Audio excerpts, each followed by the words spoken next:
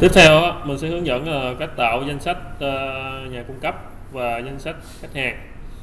Thì ờ, trước khi tạo danh sách nhà cung cấp và danh sách khách hàng thì phải tạo nhóm. Mình phân biệt theo mình sẽ tạo theo các các nhóm. Thì nhóm mình thì nhóm thì mình sẽ tạo trong cái chỗ gọi là administration, setup và business partner. Thì mình sẽ có là custom group và vendor group, hai cái này nha group trong group. Thì mình ờ, đặt cái nhóm như là nhóm ờ, khách hàng nước ngoài đi. Ờ, nhóm này là nhóm khách nước ngoài khách hàng nước ngoài đi. Khách khách hàng nước ngoài. Này nhiều quá rồi. Nó phải ghi nhỏ, nhỏ ít thôi. Ghi KH nước ngoài đó ha chẳng hạn. Rồi. Đó cái phần ra list nói tính sao em. Rồi, tiếp theo, update. Rồi KH khách hàng trong nước này chẳng hạn, có hai nhóm đây.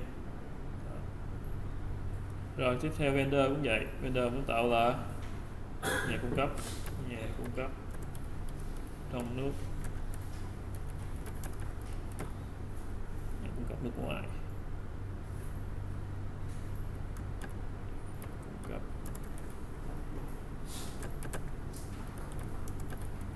ví dụ vậy. Rồi ok. Tạo nhóm xong. Đó. Rồi tạo nhóm xong rồi ấy, thì à, bây giờ tiếp theo mình sẽ tạo tiếp cái là kêu bằng là payment team. Payment team là cái gì? Payment team là mỗi ông khách hàng sẽ có một cái gì? Cái hạn thanh toán. Mình sẽ up những cái hạn thanh toán để mà khi mà mình sẽ từ ngân khách hàng á mình sẽ bỏ vô. Payment team ở đây payment thì mình sẽ set up là giống như là hạn thanh toán. Thứ nhất là tôi có hạn thanh toán là, thanh toán là tiền mặt đi ha. Tiền mặt. Chẳng hạn. Đó, tiền mặt thì thanh toán trong vòng vào một ngày ha, cộng vào một ngày.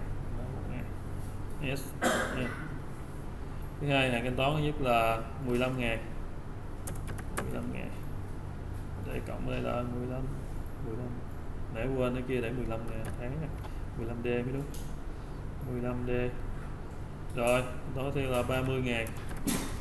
Đây là cộng là 30 Đấy.